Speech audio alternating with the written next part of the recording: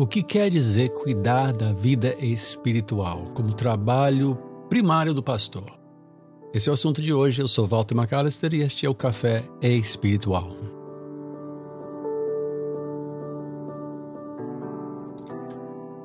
Na atual situação política, muitas pessoas estão cobrando de pastores uma posição, uma denúncia. Fale, pastor, fale, diga sua opinião, diga o que está acontecendo. E outros dizem: não, qualquer opinião que você pode dar é ilegítimo porque seu assunto é cuidar das ovelhas. E muitas pessoas até gostam de citar meu pai, ah, porque o bispo Roberto nunca se envolvia com política.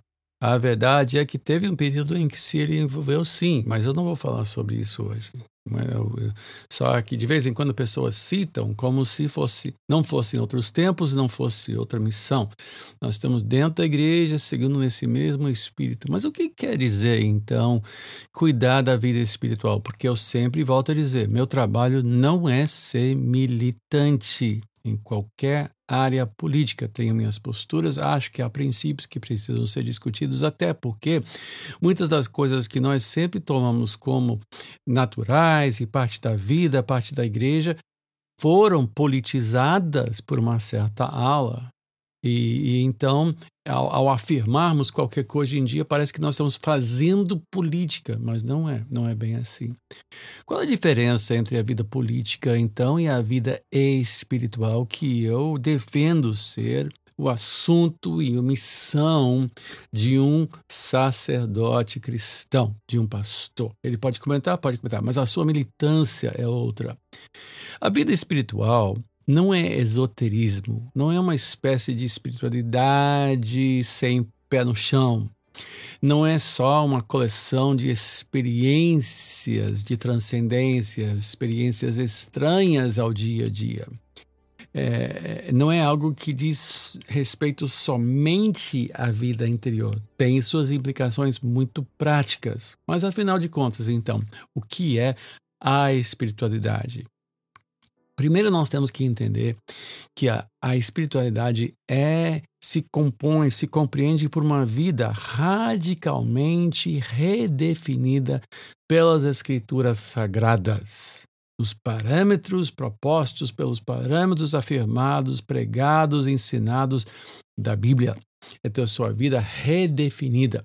Segundo, é uma vida vivida em dependência de fato de Deus. Eu dependo de Deus. Nunca me escoro, não posso me escorar na minha capacidade, na minha experiência, nas minhas realizações.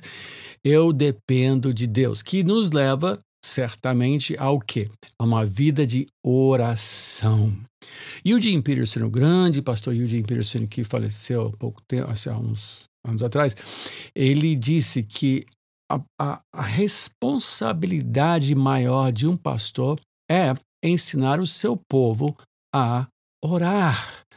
Um relacionamento de fato com Deus, um relacionamento vivo e operante com Deus, que passa por ouvi-lo, que principalmente acontece pelas escrituras sagradas, porque toda a escritura foi inspirada por Deus, segundo Timóteo 3,16, e é proveitosa para o ensino, correção, enfim, para que nós estejamos prontos para viver a nossa vida em toda, toda e qualquer situação para a glória de Deus.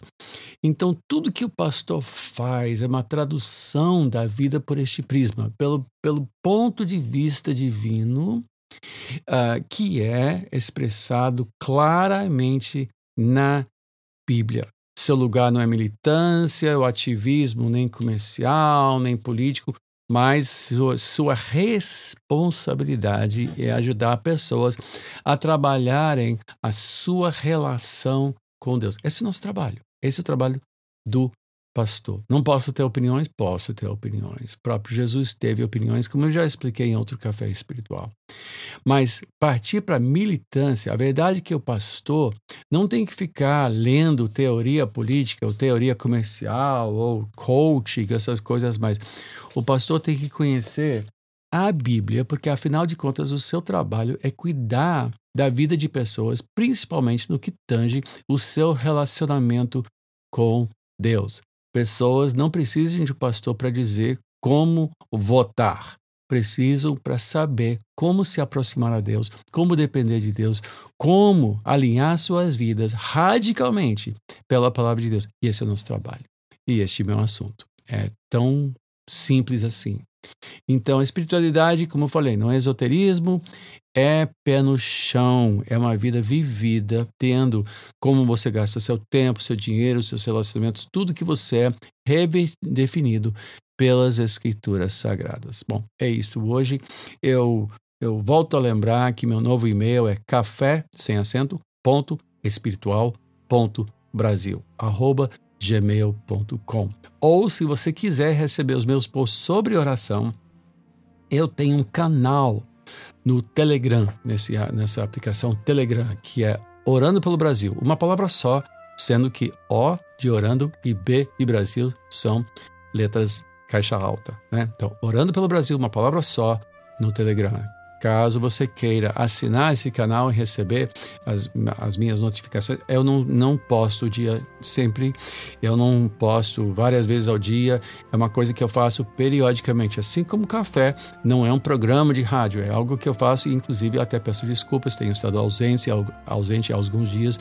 Por quê? Porque eu não tenho algo a dizer todo dia, nem toda semana, às vezes eu estou pensando, às vezes estou orando, às vezes eu estou assim, meio é, dá um nó na cabeça. E como eu não tenho que fazer programa de televisão, não tenho que fazer programa de rádio, não tenho que sempre bater é, ponto em algum tipo de programa, é algo que eu me dou a liberdade às vezes de não falar. Então, semana que vem, não fiz café. Essa semana eu já tenho quatro alinhavados e vamos lá, vamos com calma fazendo. Mas volto a oferecer, então, meu e-mail, caso você precise, ou pode assinar o canal.